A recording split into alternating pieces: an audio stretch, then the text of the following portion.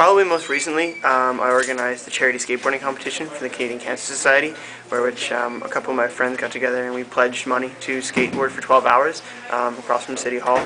Uh, with help of Mayor Al McDonald, uh, he helped us set that up, and that was the biggest attention jar. But also, when they found out about my uh, youth volunteer experience um, in India this past summer, um, I'm, that was probably a big attention grabber for them. Not a lot of people decide that they're going to raise a whole bunch of funds and go work in India over the summer. How did that come about and, and why?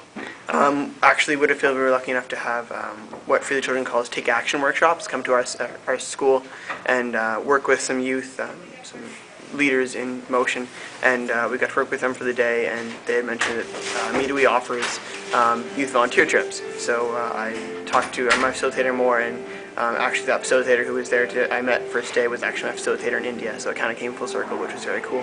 What did it mean to you getting this award, accepting this award? Um, for me, mostly just recognition. Um, I, like I said in my, uh, my acceptance, thank you is a very big thing to me.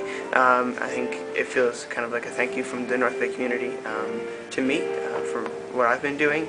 Um, I think for me, that's what the biggest is, is that it's a big thank you. Where, where does that come from, that, that spirit to uh, raise funds and, and go and volunteer and, and help uh, those that are less fortunate? I think um, for me, it comes from uh, my, my home, uh, my family. I've always been um, the kid who brings home friends who aren't in the best situations. Um, it's somewhere uh, in me. So most people have it, some people don't. It's just, it's in my nature to help those less fortunate. And uh, with getting involved Free the Children was the biggest way that I saw as helping.